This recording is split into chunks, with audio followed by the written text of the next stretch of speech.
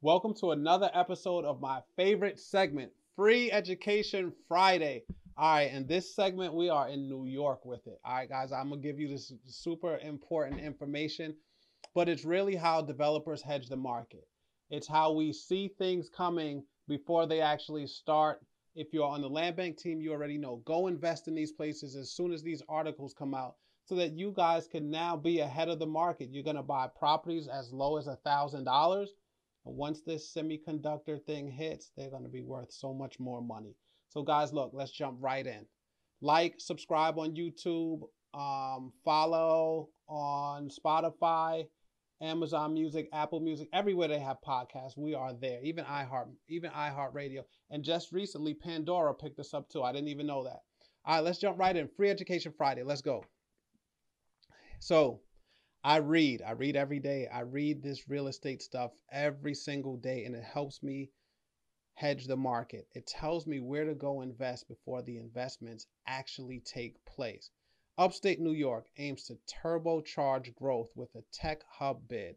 This article is going to include information from stuff that Senator Chuck Schumer is working on. Here, I'm going to do a quick read on it, and then I'm going to tell you where to buy the houses and show you how inexpensive they actually are. Upstate New York has been trying to bolster its presence in the semiconductor industry and will get a major shot in the arm towards that effort if chosen as a tech hub. Buffalo, Rochester, and Syracuse have submitted a joint application to the United States Economic Development Agency, which will designate 20 tech hubs around the country as part of a competitive selection process. The EDA is part of the United States Department of Commerce and is overseeing this process. Senator Chuck Schumer, whose party I go to every year in uh, Prospect Park, said if Upstate is chosen for a tech hub as part of its bid to obtain up to $75 million in targeted federal funding, the designation would turn the I 90 corridor from Buffalo to Syracuse into America's semiconductor superhighway. now, guys, look, you have to start. You have to start to read this stuff and understand what is happening. You got to start to understand what's going on. Senator is trying to push a $75 million tech hub into this upstate corridor. So here's what I would do if I were you. If I were an investor, if I were behind, if I was just a little bit behind in retirement, if I wanted to leave something that's really valuable generational wealth, uh, if I wanted to leave properties for my kids, properties for a nonprofit, what this article is saying is Syracuse is strongly trying to change. The upstate New York region, region is strongly trying to make change. And it's just a matter of hitting one. Once they become the tech hub, everything else starts to pour back into the community, into the area. So what I did was free education Friday, right? What I'm going to show you guys right now is the Greater New York Syracuse Land Bank website. And I'm going to show you how they have properties as low as $1,000. I love this um, land bank because it's easy to buy. Um, on the land bank team, we know we go through the applications, the contractors, the scope of work. We go through everything and make any purchase of a land bank property fairly simple because we do the work up front, just like I'm doing this research and just giving it to you guys on Free Education Friday. So let's get to it. you go to Greater Syracuse Land Bank, right? You're going to click on purchase properties, then you're going to go to find all properties. They're going to show you right here. Here's a property at 10,000, 5,000.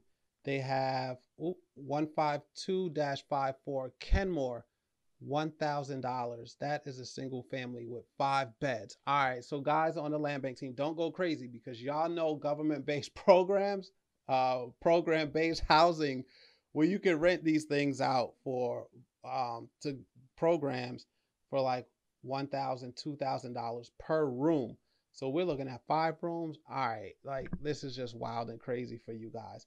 Then we got 126 McKinney's, three family, five bedrooms, three bathrooms.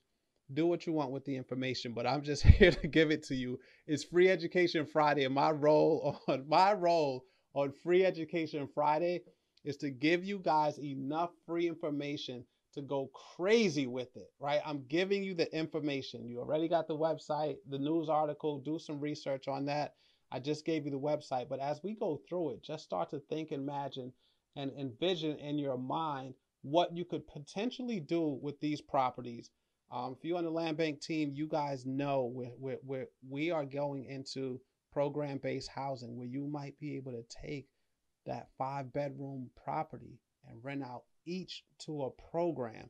I don't want to go too deep in land bank team member stuff, but just on the surface level of the land bank itself, the Syracuse Land Bank, Greater Syracuse Land Bank, is phenomenal. You got more properties for a thousand, nine thousand, just twelve thousand dollars. This one on Valley Drive is like already in really good condition. Hey, if you like the information I'm giving you so far and you want to watch the rest of this video and get a full comprehensive understanding of what I'm teaching, hop on over to YouTube. Um, the Land Bank Show is our podcast channel. Let's go. Enjoy your Friday. Enjoy this free education. Thank you. So here I want to dispel one of the myths to you guys, right? People see my content and sometimes I get feedback. The houses are trashed. The houses are, are, are in such poor conditions.